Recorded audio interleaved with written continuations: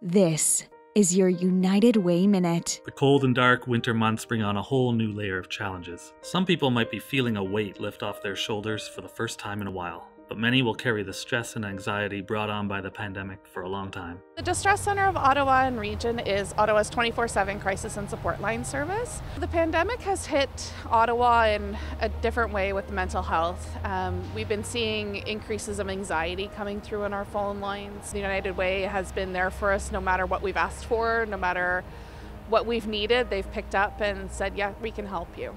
Because of you, crisis lines are saving lives. Knowing someone will be there to listen 24 7 makes it possible to get through a dark day. This holiday season and beyond, help ensure every person has access to mental health services. Donate today at unitedwayeo.ca or call 613 228 6700.